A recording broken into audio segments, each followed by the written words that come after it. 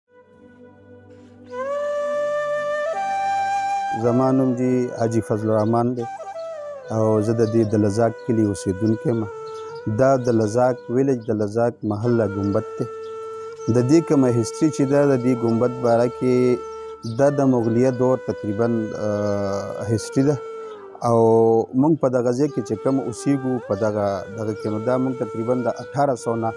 زاړه 1700 پورې تقریبا ما سره خپل هیستوري شته په دغه ځای کې پردات او غیره او دا کوم ځمکه چې کومه ده او کومه ده انګريز کوم هغه جمع بندیان دي هغه ما سره اویلیبل دي په دې وخت کې لکه دام یو قسم د یو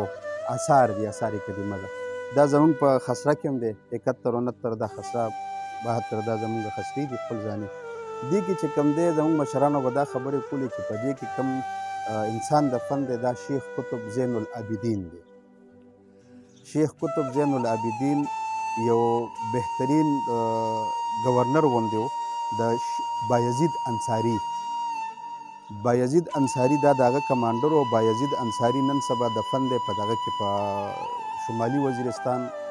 کې تقریبا زما په خیال یا جنوبي وزیرستان په دغه ځای کې دفن دی دا د هغې چې کوم دی کمانډر و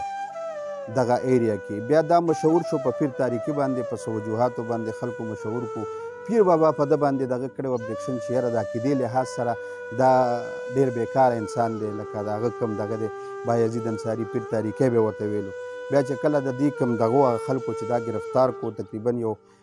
20 20 دن 25 دن تقریبا 30 دن پورې د بندي ساتل خو علما یې هغه کم کم د علما کم کابینه کم تغیر اغون کو نو پغه باندې چې کله د عقیدی دغه کو نو هغه دا اصرار کو په دې باندې مکمل بیو بین چې دغه کړو چې دا خو عقیدی له سره ډیر نیک انسان دی بیا هغه خوشې کو نو دغه پوری چې کوم دغه د مونږ ته پته ده او الحمدلله مونږ خپل ځاني خپل اپنه مدد اپ ترو باندې مونږ د دې د صفایي خیال ساتو جنگ جګړې پکې راځي زمونږ مونږ دلته کوم یو مخکې ډایرکټر و دا سعید نوم و الله دې وبخښي اوس وفات شوی دی او نواز انجینر و ای وی چېرې دومره دا مخکې زمونږ دغه کې احاطه کې کور کې دننه او دیوال کې دننه بیا هغه وی چې دومره موږ ته لږ ځای راکړي چې یاره دې نه دا میلمانه راځي یا ټوریست ټوریزم یا ټوریست چې کوم راځي چې هغه دې کې ګرځي ګوري چې یاره دا څه شی دی دې کې ډېره ښایسته ګلکاري وه ډېر ښکلی د هغو موږ باید یې خپل حفاظت کولو بیا هغه نواز موږ سره خپله خبره وکړه چې یاره په دې ځای به موږ ستاسو یو دوه کسان هم والو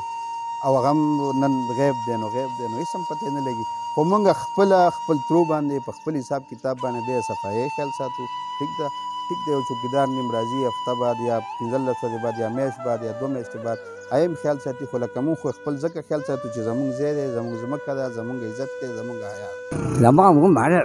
یو سل او شل کاله دی او دې